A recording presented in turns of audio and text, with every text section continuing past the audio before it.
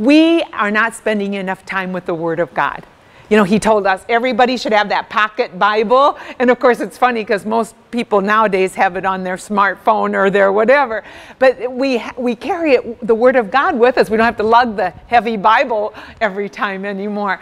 And uh, I just think that that is so key that we weave Scripture into everything we do in faith formation, from our opening prayer through our, um, you know, uh, actual content of the of the um, of that session through the, the close. Uh, there is a priest in Iowa, but I cannot remember which parish. When we were doing Generations of Faith training, he says they begin and, every, and end everything at the baptismal font. And I loved that idea. Even when volunteers come to stuff the bulletin, they start at the baptismal font so that it's a way of saying yes to my baptismal call. Everything is connected to that. And Pope Francis has said very strongly, you know, that the baptismal call is a great way to connect with people. But he also says every one of us should read Scripture every day. And whether we give the question of the week to our people or whatever way we, we weave it in, he talks to us how important that is. And in, and in Evangelii Gaudium, how many, even in the introduction, how many scriptures did he use in the introduction to the document? And they were all this kind of scripture. They were about the abundant joy that we get from being people of God, how much God loves us, how graced we are. And uh, he just quoted the most amazing, uplifting scripture passages, not the ones that beat people over the head, but the ones that make people feel welcomed and accepted. Now, I have to tell you, um, in my Renew group, and you know, original Renew is like 30 years old now, my group's been together all 30 years. Now, a couple people have come and gone, but uh, there are about six of us from the original group. It was all ladies. Um, at that time, it was either women who, I was the single one, there was one divorced woman in our group, uh, one widow, and the rest husbands didn't want to do renew. and we're still together, although there are, uh, they're all widows now. We don't have any husbands left from our group. But I taught some of the women in my group, I taught their daughters because I was their high school religion teacher. And um, these women worry about not being tough enough with young people today. That's their issue that they think, you know, the whole problem is we haven't been strict enough teaching the content of faith and the thou shalt nots. I am intrigued by that because Pope Francis is saying the opposite message is the one that's going to work with people. And I know we have to dance that fine line, walk that tightrope between, you know, doctrine and and uh, the more communal side of it, the encounter side. But I think Francis is kind of listing toward you don't do doctrine if you don't have a loved relationship with Jesus. And sometimes we have put the cart before the horse, right? Think about the opportunities for scripture in the year of mercy. To take, you know, Peter cockily thinking he's going to get praised for saying, Do I have to forgive seven times? And Jesus pulling his hair out, Oh, Peter, not again. 70 times seven. And just what we can do with that in our adult, our youth, our children's catechesis. It just is such an opportunity uh, for that. God bless you. And Pope Francis keeps saying we have a model, and he doesn't point to himself, does he? He says Jesus is the model. And look at how Jesus created that culture of encounter. Jesus rubbed up against people, skin to skin, and I don't mean to offend safe environment policy when I say that. I panic anymore. I'm always thinking that that sound inappropriate. But you know, we really need to not worry so much that we don't provide that encounter, that it's such a sterile environment that nothing, you know, skin to skin can happen. And the way Jesus encountered is, is Pope Francis says, our model. Uh, uh, the 10 lepers, I love that image, that art of people, you know, the, the, all the, poor and the crippled. I guess that, that isn't the 10 lepers, is it? That's when a whole bunch of people came to be healed by Jesus. And he just, you know, every one of them was special to him.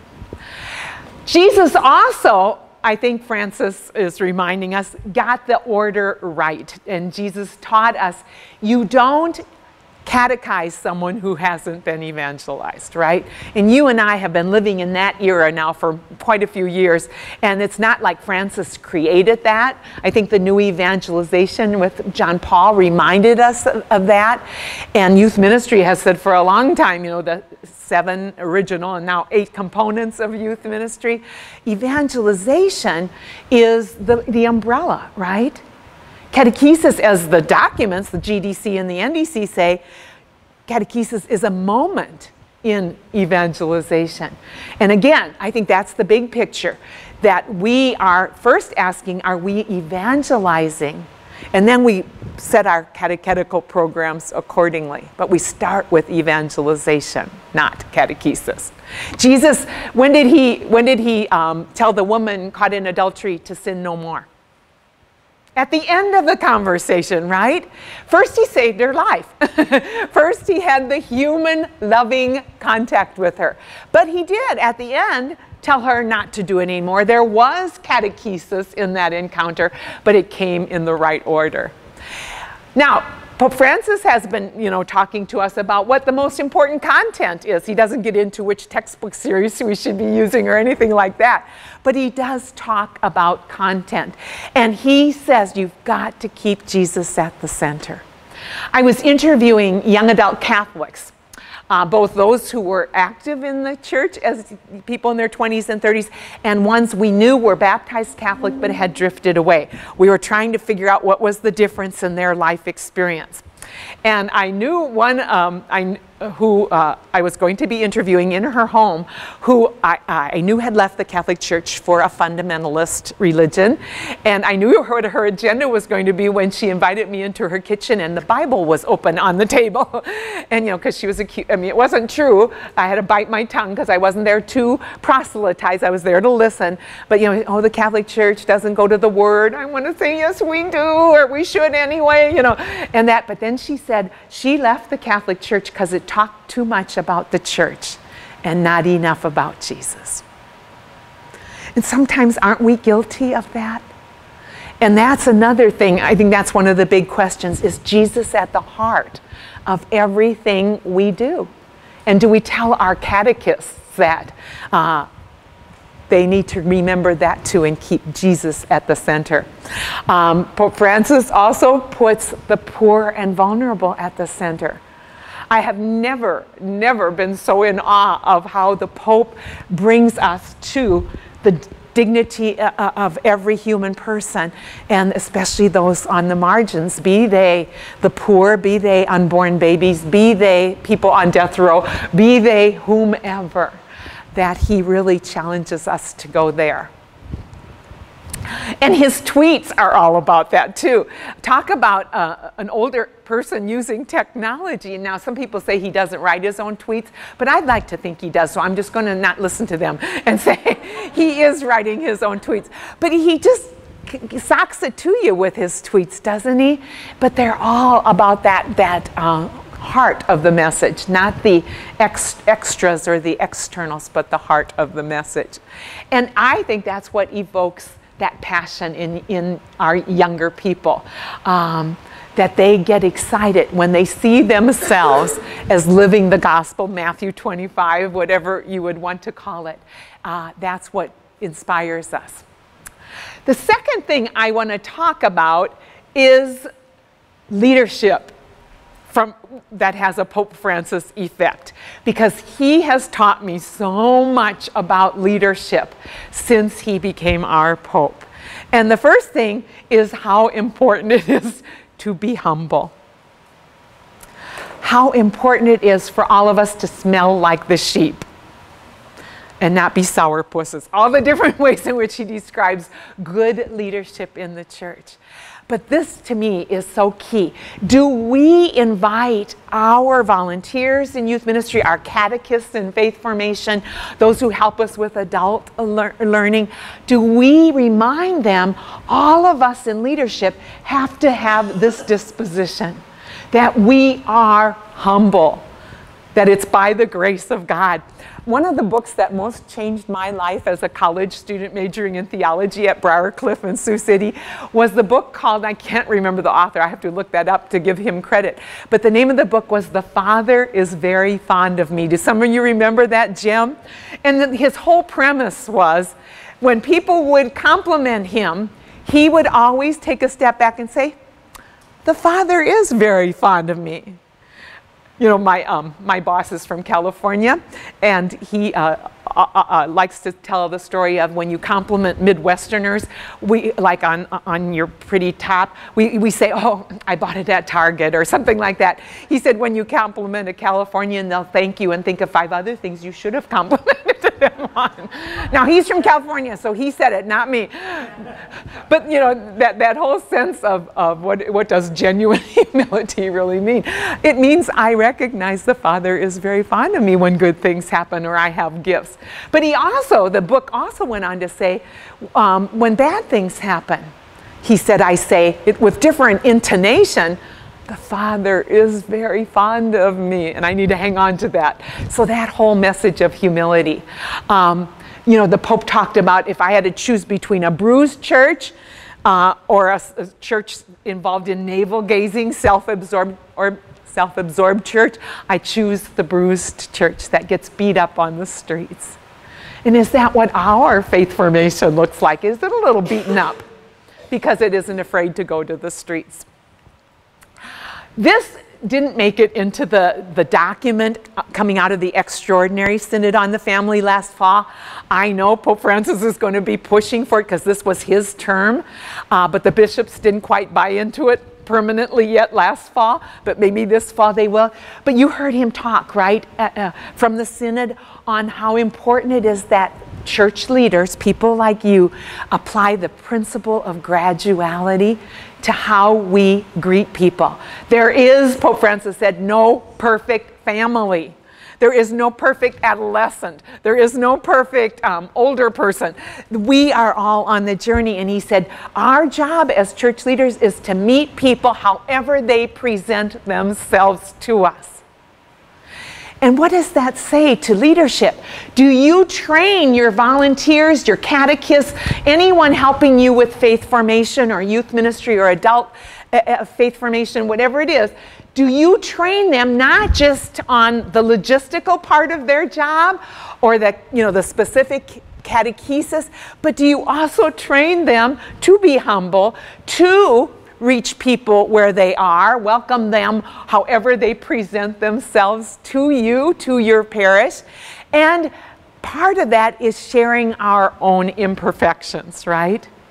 When I started teaching, I was only 22. I was a farm girl. Omaha girls were very city girl-ish to me as the farm girl. And some of them were, I was teaching seniors. So they were four years younger than me, you know, 18 and I'm 22. They're the city girls. I'm the country girl. And Briarcliff in those days was pretty sheltered yet. This little private, you know, Catholic school run by those Dubuque Franciscans. And oh my gosh, they so intimidated me. And I wanted to be, you know, have the answer to every question that they would asked me as their religion teacher. It took about mm, 10 seconds for me to realize that was not going to happen. And so I learned early on, but it's been a gift to me ever since, that they most resonate with us when we share our struggles with them. And Pope Francis has told us to do that, that we share warts and all what's going on in our life, and that we don't present ourselves as, as perfect. Francis also talks about who are the target audiences for, uh, uh, for faith formation, but especially for evangelization. And in Evangelii Gaudium, he names three groups, a little different from how um, John Paul in the new evangelization documents framed it, because John Paul talked about two basic groups. Um, well, I should take a step back and say Paul VI in the original document in 1975 said bringing the good news into every strata of society, but especially to people who didn't know Jesus. John Paul says, take it to your core so that they can become evangelizers of other. And then he, the second group he named were the disengaged. Now, John, uh, uh, um, Francis kind of the same, just breaks it down a little bit more. He talks first about the faithful who have a relationship with God. Sometimes we take them for granted instead of challenging them to go even deeper so they can become peer evangelizers, young families with young families. I was just talking to um, uh, uh, one of my um, colleagues at the center. He is 30 years old. He has three little boys, two, one, and zero. And he just did our family workshop uh, in San Antonio. And there he said, um, people said to him, Do you have any wisdom from your own lived experience? and he said, Yes. Don't ask families in my, with little children, like, don't ask us to, to be uh, true to a set schedule. He said even Mass has changed with those three babies. They used to always have a preferred Mass when it was just uh, Angel and Ashley, but now with the boys, you know, they might go here if 5 o'clock works, but if the boys are tired and crabby, it might be here at 6 o'clock, that kind of reality. And I think that's what Francis says.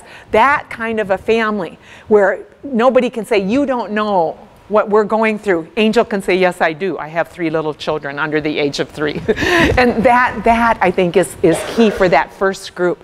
The second group, the, those who were baptized, but it didn't stick. Probably what? They never fell in love with Jesus.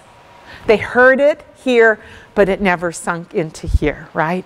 So, how do we re engage them?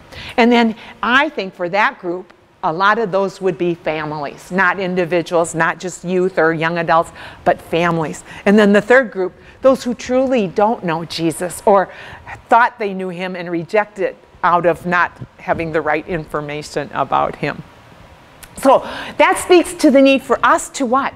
Train the faithful. The, train those in evangelization. Is that part of your uh, big picture? Do you say, as a staff, Who's responsible for this and how are we going to do it?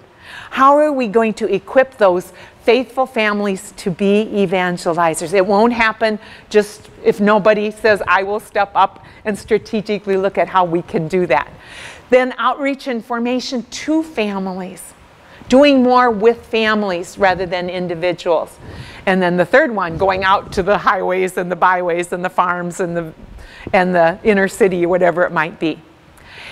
And of course, the methodology that Francis recommends is dialogue, that we have hearts, heart to heart with those whom we are trying to engage.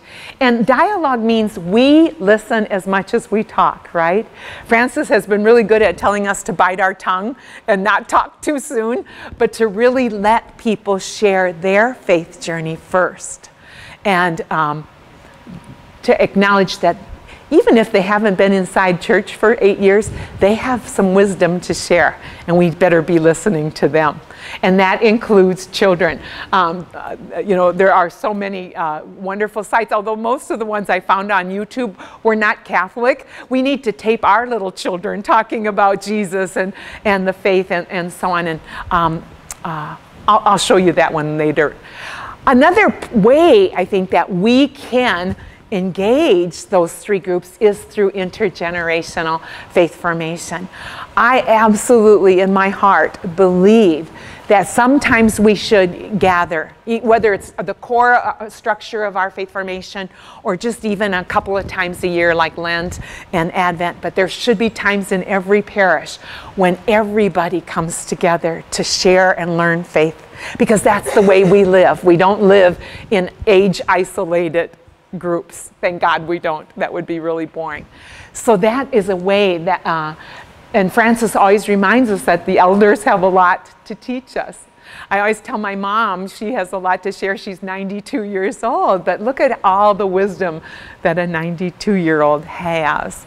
And to connect to other generations. When I get cynical and jaded, I go hang around my great nieces and nephews because they can just boost my faith back up there. Um, if I, am feeling a little lackadaisical, I'll hang around teenagers because they'll challenge me and stretch me. That kind of uh, opportunity to connect to other generations is important. And Francis says Don't be afraid of the questions. I used to be terrified by the questions. They're going to ask me something, and today there are so many sticky issues, and we tend to avoid them when, with young adults and youth, that's where we would gain credibility to talk about same sex marriage, to talk about immigration issues, to talk about all the hot button issues that are in people's lives divorce, annulment, remarriage, and so on. And he said we've got to have opportunities for the questions and not anticipate, uh, you know, not. To not listen is to be thinking, what am I going to answer, instead of being fully present to the person speaking. And, and Francis has challenged us on that, and not to put words in other people's mouths or to assume we know what they're thinking. You know, our national directory, way back in 2005, really echoes what Francis is saying today, which is every, this was specifically about young adult catechesis. I, that's my favorite section, uh, uh is the young adult part, because we really all want this. Because the NDC says young adults deserve in your parish a place where they can ask any question, express any doubt or even disagreement with the church, and they won't be castigated for it. That, you know, uh, and the, the NDC goes on to say that their questions will be answered. The church's teaching clearly articulated, but related to their life experience, not just out there in isolation. Don't you love, don't you go back to the NDC every once in a while to remind, because the, vision there is so beautiful.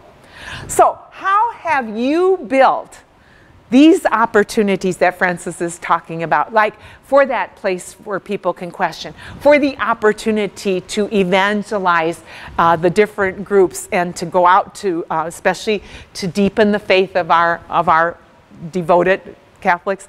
How have you built all of those ki kinds of things into your faith formation? Talk to each other.